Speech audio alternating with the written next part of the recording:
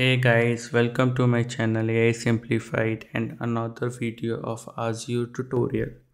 In today's video, I am going to show you how to send newly generated files via email and I can think of multiple use cases for this. The first one is sending logs file via email to developer team or to specific person every day or when you have an Azure function that generates some output files, then you can send them to the customer and to a specified person. So let's begin without any delay.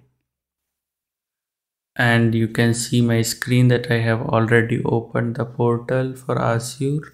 And for this scenario, I'm gonna use Logic Apps. So let's click the Logic Apps and then go to this option of add. Then here you have the subscription then your resource group. I have also tutorial then logic app name. I want to do test email. So email and 13 and i want to do a workflow and i'm situated in germany west or north europe then consumption based. So it's much cheaper and then you have zone redundancy. Yeah and then you go to the next then next and just click on create and this will be created in some time.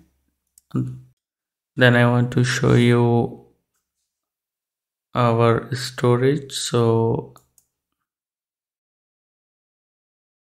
so the resource is created and let's go to the resource.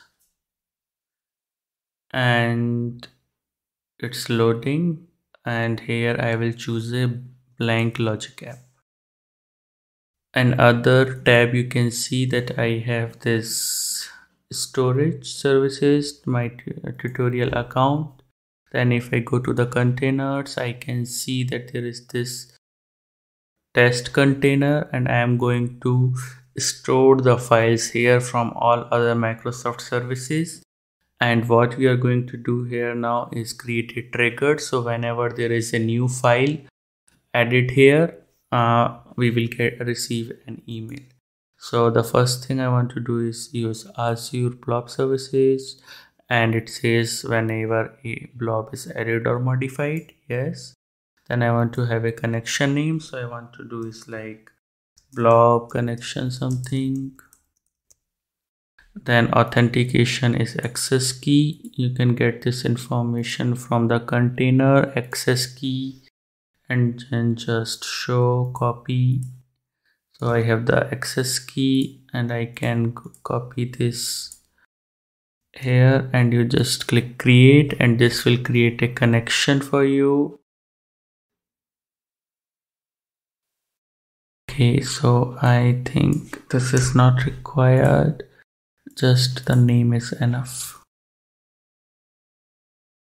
And the connection is created so I am going to select this connection. Then the uh, if the connection is right it's connected properly you will be able to see the container here. So I have my test on container.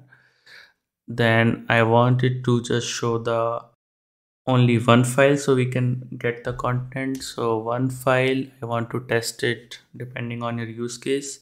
But uh, for this tutorial i'm going to do it every 10 seconds. And i think that's all. Then we go to the next step. Here we go to the blob again and get this file content so we are going to get the content of this file and here we again select the this connection string then we go to the blob and select this. So it just says no item but what we can do now is just write like test one and then list of file name so it will go to this location and the file name that we get from the previous step and we will have the blob then in the next step i want to send an email to to to the user. Uh, in our case let's do, i will send myself an email. So we go to the send email option here. Send an email. Then i have to do the sign in and after successful sign in you should be able to see this page where i have connected to my email address. And now I am going to fill the all the other information. Just a point here that right you need to have a work or a school account to have this option enabled. You cannot uh, have outlook connector from your personal account Oh, I am going to send this to myself. Then the subject is new file generated. And body will be like hello. Find attached new generated file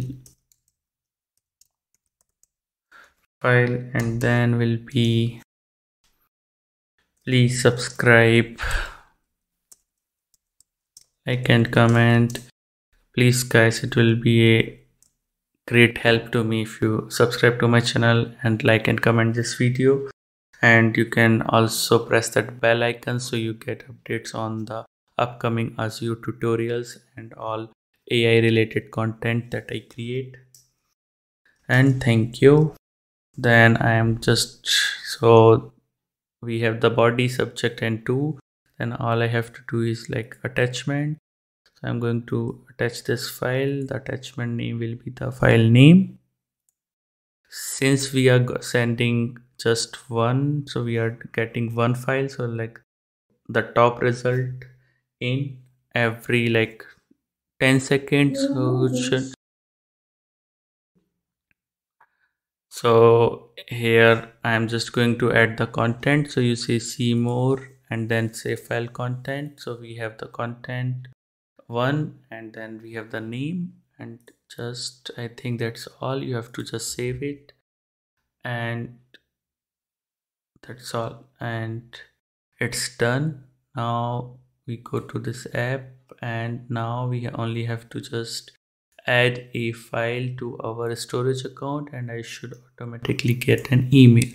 So to test it out I am going to upload a file here from let's say from my desktop. I have this test.txt open upload and it's uploaded here. So if you see here it should run within 10 seconds because it's checking every 10 seconds let's see. So you can see in the run history it succeeded at 8 am and here you have like everything. So you can see the output. So you see it in the container. There is a test.txt which is the output. Then it just got the file content which is a this is a sample document. And then it sends an email. And now the hour of truth. And I go to my outlook and I get an email from yeah that the file is sent. Yeah okay guys. Thank you so much for watching this video. And if you like this video then please give it a thumbs up and subscribe to my channel. And we will be doing pretty interesting topics in the upcoming future. So press that bell icon. Thank you guys. Have a nice day